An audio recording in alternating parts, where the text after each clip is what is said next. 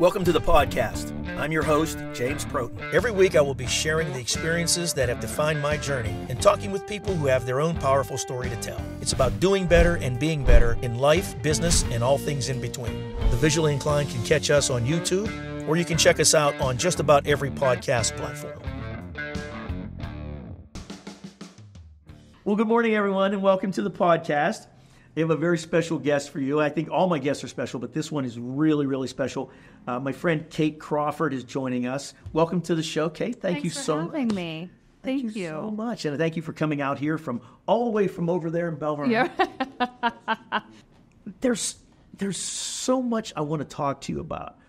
Uh, what what's happening in your life right now? Let's start right here. Look, what's happening in your life right now that you're excited about? That that you just like. let- Let's let's let's share this. What's what's got you excited? Uh, so right now is softball season. Uh, one of my daughters is now the starting varsity pitcher for Belle Vernon High School. Yeah, how about that? Uh, so it's ah, it makes me feel all the feels. I'm happy, excited, scared, angry. It, it just it makes me feel everything. Uh, but it is it's it's it's an absolute dream to be able to watch your kids grow into being humans and have their own personalities and loves and this is her love so i just share in the in the, in the excitement with her That's that's awesome. And when you told me, yeah, I wasn't even thinking varsity because last time I saw her, she's probably that big. Yeah. And and uh, I'm thinking, did, rec softball start already? Yeah. Said, no. And, you, then you told me she's starting pitcher for the varsity. I'm like, holy crap! Yeah, yeah. Wow. So it's so exciting. It's Yeah. crazy.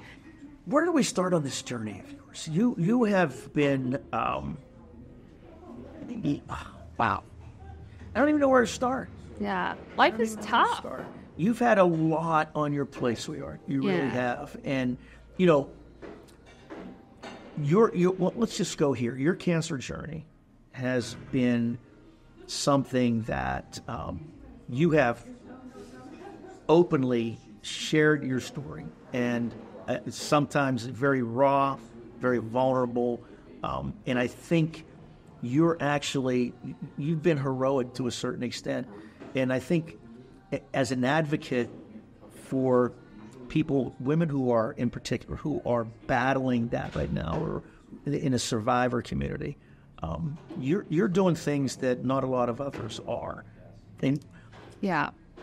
talk me through that when when you first got your diagnosis you were young you were about 28 I was 28 when I was first diagnosed. and it was and it was a traumatic diagnosis right it wasn't like hey It- this is it can do. was. Yeah. I mean, I just showed up to the doctor one day and then within that same month I was diagnosed with stage 4 breast cancer.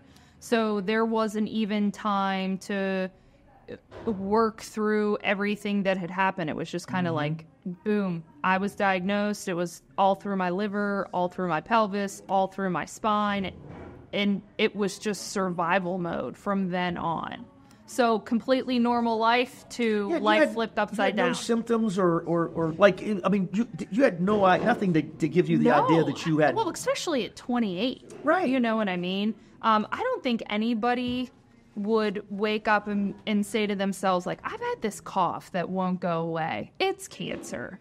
Um, I don't think anybody would think that, let alone, you know, someone who has been.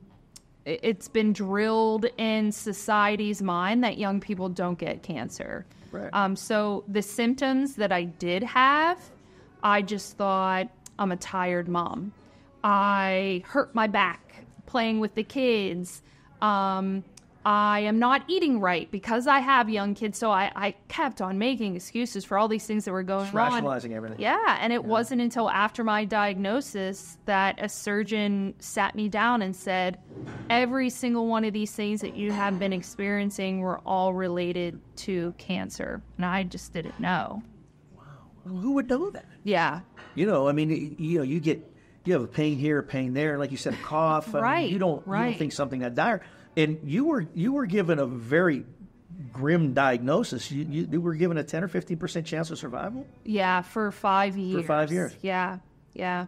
when you're what 11 years now. I'm 11 years out now. Look at you. Yeah. Look at you. Yeah. God bless you. That's that is that is so cool. And it, I mean, it, you were a mom through all this. Yeah. Yeah, you know, I mean, was- it's like There was no stopping. You know. you just had to you just had to cowboy up. You Yeah. know, I mean, it was. And I know you know Steve. You you you're you're blessed. I got to give I got to give him some props. He's a good good man. And, and you know, you guys. And thank you for recognizing him because that's that, that's a hard part being a caregiver. Oh, my You know, goodness. right? Is is his world stopped just as much Yeah. as I did, as mine did, um, and he doesn't really get that recognition for all the things he's had to do. And you no, you have four children. Yes. And um, I know you, uh, your your first daughter, you lost her tragically early. Yes. Uh, three days after she was born, she passed away. She had two congenital birth defects, one that we knew about, one that we didn't know about, but the combination just wasn't compatible to life. Um, so we did comfort care and did all kinds of little things with her, and then she passed away. That, that's as a as a young mom, that is devastating. And it, you know, and you've had just had one thing after one thing after another from a health standpoint. Once you got sick, when I look at you, I don't think cancer, right? I I see a, again a very vibrant, happy young woman. Yeah. It's not something that I seek to portray out that, mm-hmm. you know, cancer, that, that cancer patients have to act the way that I do. Mm-hmm. Because, I mean, for the many times that we've been together and have chatted and talked, and, you know, um, how I am with you, you also get to see what it's like behind the scenes mm-hmm. too, just through social media, because I also will share like not every day is happy and sunshine whether it has to do with cancer or kids or the loss of my daughter um, or just even being in the advocacy you know field. Like the i have really hard days through there. Um, and and one thing that i i don't want people to get is this false narrative Right. that um, everything's you know sunshine and rainbows. It can be, but it can also Well, I mean, be hard. Yeah, and I think really it, it's it's no different. You have to you have to make your own sunshine and rainbows. Yes. You have to make your own happiness. Yes. Right. You have to find your happy. But by you sharing the, your story and, and, and the way you do it, you changed my perspective on things. You really did. I, I really believe um, that the the two strongest words in the English language are "me too." Um, so when I share being, you know, raw and open, I want someone to be able to see that and say, "I feel that way too," like me too, you know, or um, even if it doesn't have to do with cancer and, and someone just is feeling down and, and they don't feel alone I that's honestly the re- I just don't want I never want people to feel the way that I have felt many times in my life even though I know it's inevitable that people will sometimes feel that that way I think that knowing that other people also feel that way though really kind of brings a sense of hope to to their lives. I love that you at one point you put a pic you, you posted a picture after after your surgery, Mm-hmm. mastectomy, and that probably shocked a lot of people. Yeah. I, I would think it did. and that that is the exact message that I wanted to be able to share because I do. Um, I'm a fan of TikTok. I love TikTok. Uh, so I do share a lot on social media about my surgery and how I chose not to have reconstruction um, because I, I think it's very important for not even just my generation, my daughter's generation mm-hmm. to see that being beautiful doesn't mean that you have to have you don't have to be super skinny you don't have to have you know blonde hair blue eyes you don't have to have this perfect body like our scars our imperfectness our weakness like those things mm-hmm. also make us beautiful Oh, absolutely. Yeah. absolutely. I, I, I mean, I couldn't agree more. So, has this has this experience um, made you think about how much do you think about five years from now, ten years from now, twenty years from now? I- I think as much as I try not to think about it, it's always something in the back of my mind. And Um, something that I hear a lot from people is, uh, you know, tomorrow's not promised for anybody. And while that's very true, um, I know I am on borrowed time. So I know that I could walk into my doctor's uh, next week and they say, you know what, your heart is just not working out with this treatment. We have to stop treatment, which means my cancer would grow, which could lead to my death. So, as much as I try not to think about the future, I do love dreaming. Dreaming is just, oh my gosh, it's one of my favorite things. Do you have a bucket list?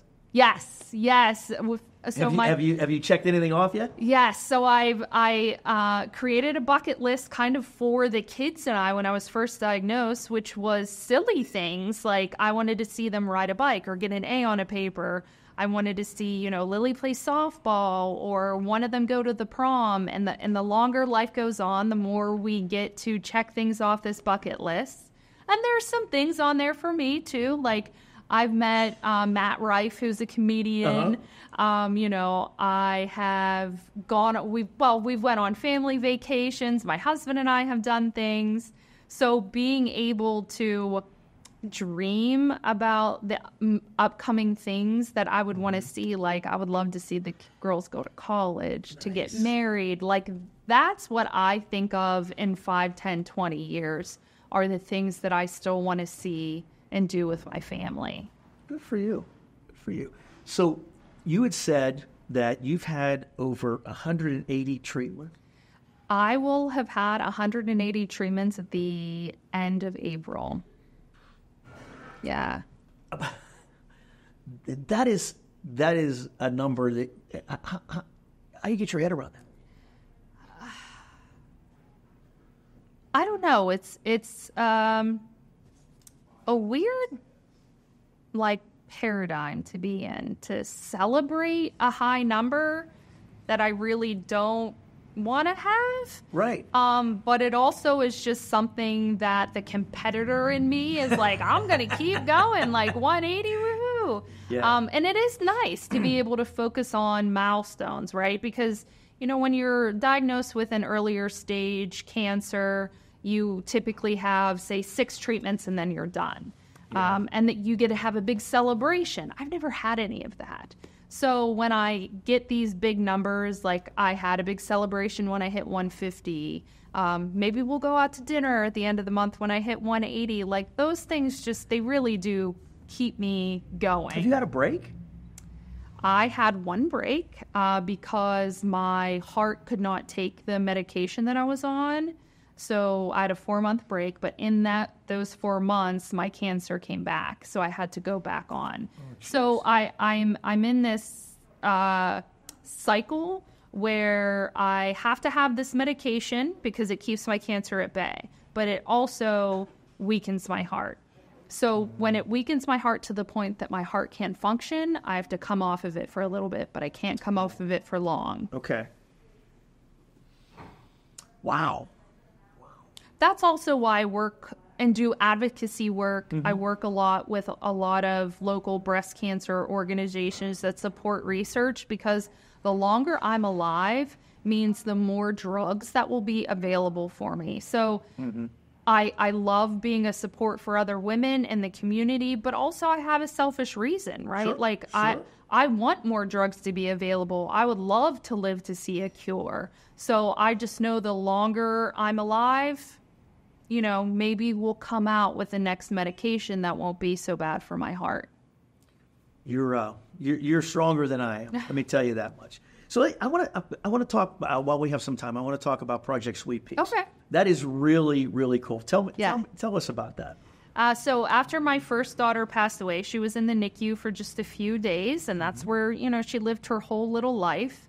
Um, I, and I left there with an immense sense of grief, not just for leaving my daughter, but I didn't get to make any memories with her. There weren't a lot of things that I could do.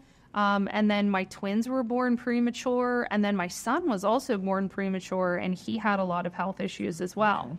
Uh, so I, again, just the giver in me didn't want people to feel alone like I did. So excuse me, myself and one of my best friends decided that we were going to start making care packages for NICU families. Yes. Yeah. Um, and our little project grew to be it's a you know nationwide organization now. They have uh, probably about 20 chapters in different states. Uh, they deal with you it. all started all this here. Yeah, it started right here in Pittsburgh. Yeah. That is so cool. Yeah, and now, um, you know, in 2014, we started, it's called NICU Awareness Month, which is celebrated globally. Um, it's celebrated by, um, I've seen Kim Kardashian post about it. I've seen Chris Pratt post about it. Like celebrities that have had NICU babies even celebrate it now. And it really was a great way to um, involve all parents that had babies in the NICU because not all are premature. Some have birth defects, some just kind of go for a little bit to grow. Um, And then some are there for up to a year a sometimes. yeah. yeah. Yeah, so NICU Awareness Month really became a month that the whole entire NICU community could get together.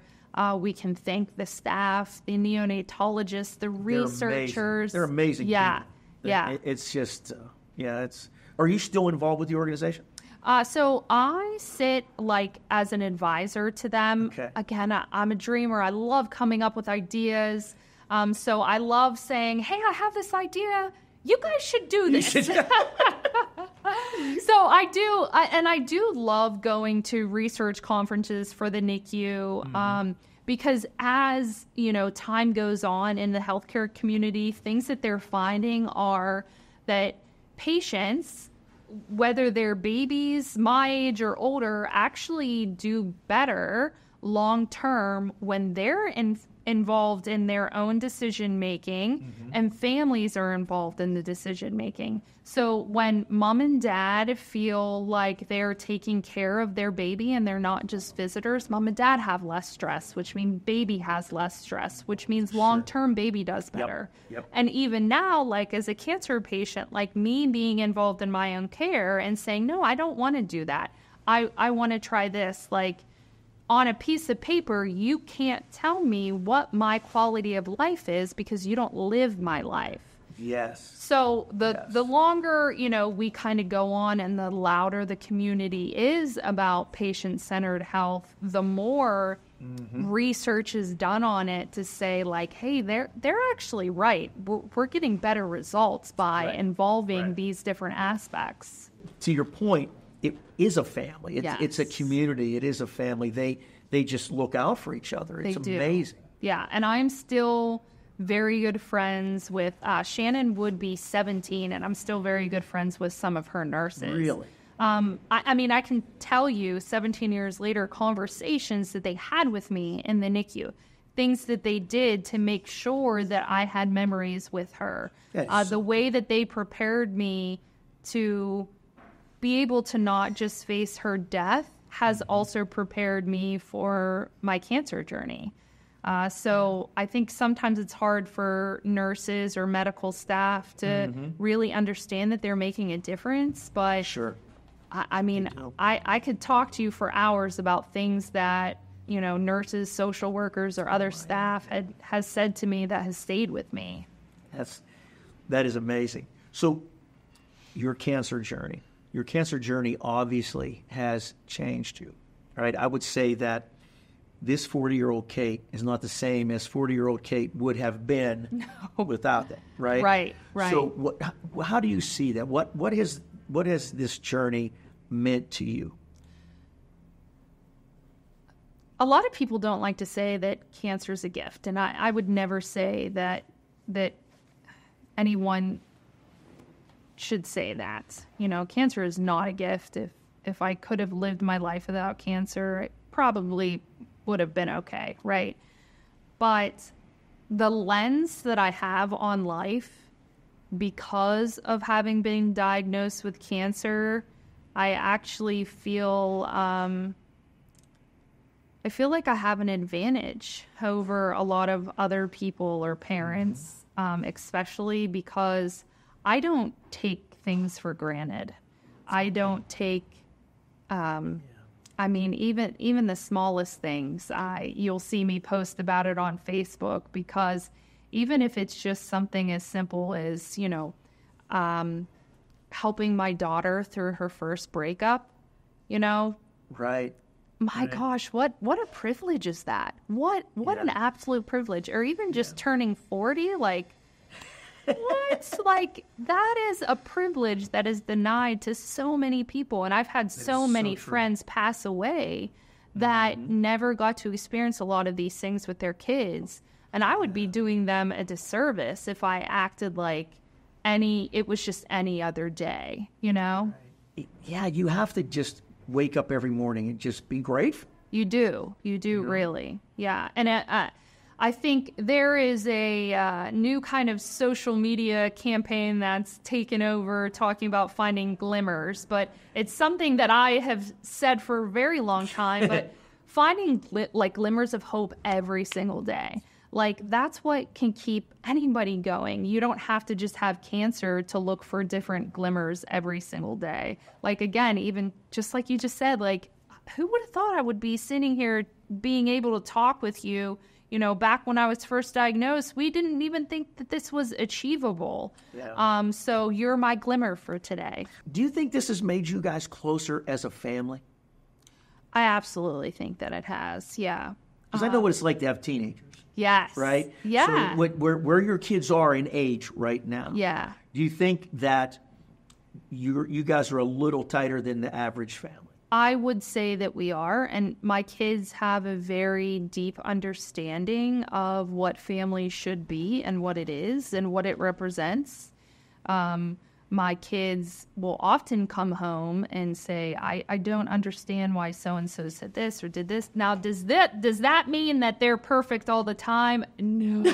No. Um, and I am not perfect all the time either. I Nobody mean, is. we we fight like cats and dogs. However, at the end of the day, my TV's on downstairs, and I'm surrounded by my kids. So by my teenagers, nonetheless. that you know, that so in itself is just amazing. Have they have have any of your kids relay conveyed to you how they how they see you, how they feel about this? so they don't know any different, which is which has to be weird for them. Um, they don't remember a mom before cancer. Only I remember that. Only I remember that I was down on the floor every day playing with them. You know that my life was all theirs. Um, Yeah. so they know now and and do and it's sometimes it's a hard pill for them to swallow but um like they understand some days i just don't feel good there's days that i can't do things um they're very keen to that um and are able to kind of bounce back and you know take care of themselves and figure it out. So Yeah, yeah. Of of what you've gone through, what your yeah. journey has been and, like. and that is why it's it's so important to just be kind. You you just Yeah. always should try to be kind to people. Yeah because no one knows you know what happens or what they're battling um, so it, it's always important to just be kind Yeah, you're a, you're a shining light. You're a Oh, bright light, and, you. and you make a difference in a lot of people's lives. Thank you. you. thank you that's just that's just all i i just want to be me Well, listen, know. I I really appreciate you uh, you coming and joining us.